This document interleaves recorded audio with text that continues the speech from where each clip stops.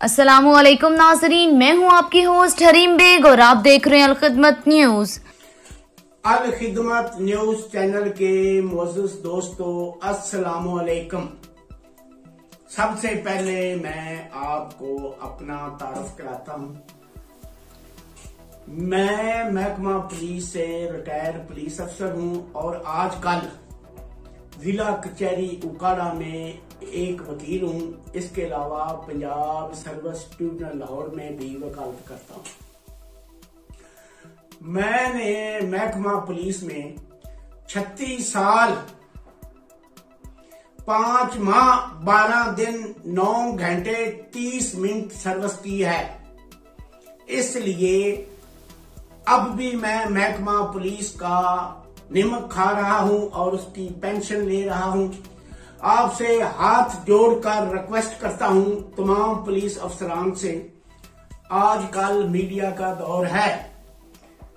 Corruption को छोड़ दें, अपनी ड्यूटी ईमानदारी, जानदारी से करें। वरना आप अपनी नौकरी से हाथ धो बैठेंगे।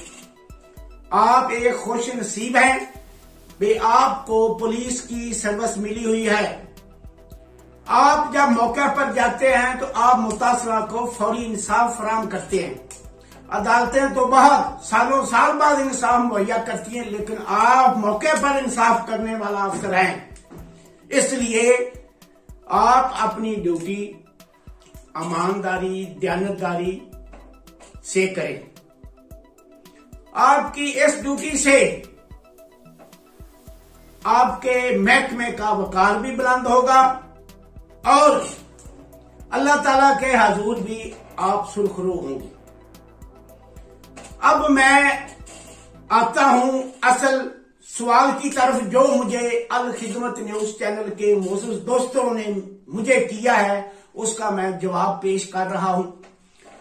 मुझे सवाल किया गया है, काफ़ी मोजूद दोस्तों ने किया है, क्या किसी पुलिस अफसर के खिलाफ भी एफआईआर दर्ज हो सकती है? मेरे भाइयों, हो सकती है। जो पुलिस अफसर कायदा कानून की खिलाफ वर्जी करे और अपने इख्तियार से तजावज करे, उसके खिलाफ एक सौ पचवंजा सी आर्डर दो हज़ार दो, एक सौ छाठ ए तजीरात पाकिस्तान के तहत कानूनी कार्रवाई हो सकती है। अगर कोई पुलिस अफसर आपकी तफ्तीश नाकस करे या आपकी तफ्तीश के दौरान सबूत, जुर्म, गैब कर जाए तो उसके खिलाफ भी कानूनी कार्रवाई हो सकती है। वो आप उस पुलिस अफसर के खिलाफ एक सौ पचवंजा सी आर्डर दो हज़ार दो, एक सौ छियाठ ए तजीरत पाकिस्तान और 201 तजीरत पाकिस्तान के तहत अपनी कानूनी कार्रवाई करवा सकते। अगर कोई पुलिस अफसर आपके घर बगैर वारंट बगैर किसी वजह दाखिल हो जाए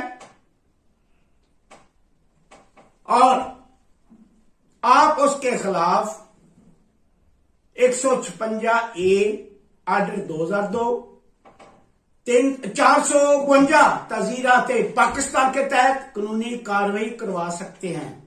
जिसकी सजा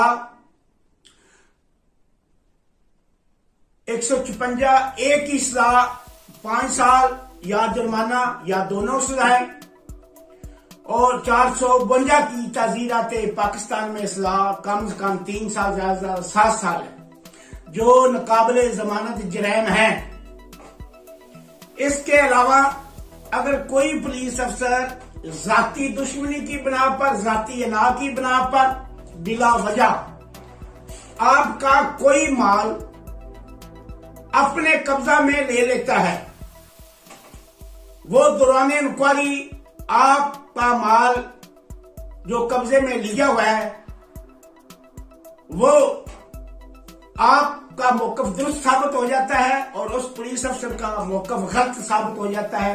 तो उसके खिलाफ आप एक सौ छपंजा बी आर्डर दो हज़ार दो और 409 तजीरात पाकिस्तान के तहत कानूनी कार्रवाई करवा सकते हैं।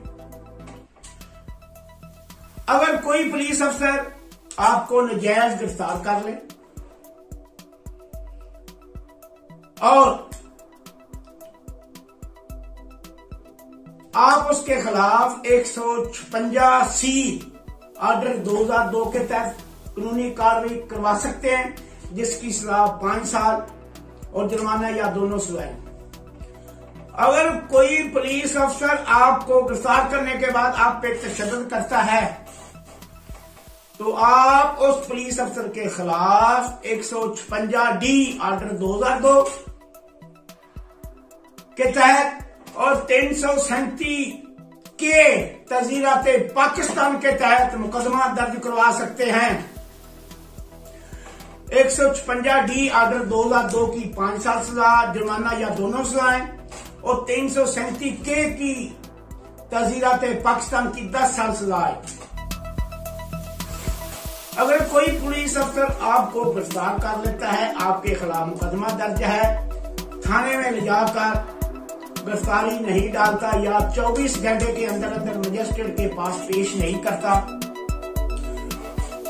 तो आप उस पुलिस अफसर के खिलाफ एक सौ सतवंजा ऑर्डर 2002 के तहत मुकदमा दर्ज करवा सकते हैं।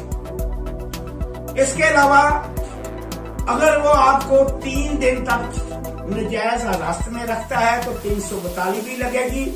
अगर तीन दिन से लेकर नौ दिन तक हो जाए तो तीन सौ तरतालीस लगेगी। अगर 10 दिन या 10 से ज़्यादा हो जाए तो तीन सौ चौतालीस भी साथ लगेगी। ये तो हो गया पुलिस अफसर के खिलाफ कानूनी कार्रवाई। क्या हो सकती है?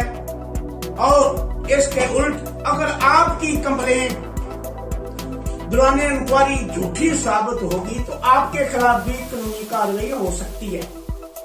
वो मुतासरा पुलिस अफसर आपके खिलाफ एक सौ बवंजा आर्डर दो हज़ार दो और एक सौ बयासी तजीरत पाकिस्तान के तहत मुकदमा दर्ज करवा सकता है। इसलिए सोच समझकर बगैर सबूत के किसी पुलिस अफसर के खिलाफ दरखास्त मत लीजिएगा। अगर आपके पास सबूत है तो ज़रूर दें। अगर आपकी कोई कानूनी कार्रवाई न कर रहा हो तो अल खिदमत न्यूज़ चैनल के chief legal adviser Sardar Asghar Ali, मैं आपके सामने बैठा हूँ। मेरे साथ रहा करें। मेरा टेलीफोन नंबर ज़ीरो तीन सौ एक, चौरासी, अठासी, चार सौ अठासी है। मैं आपकी फ्री वकालत करूँगा। इन ताला सुबह पंजाब में हम हाजिर हैं। हमने ये चैनल इस मकसद के लिए बनाया है।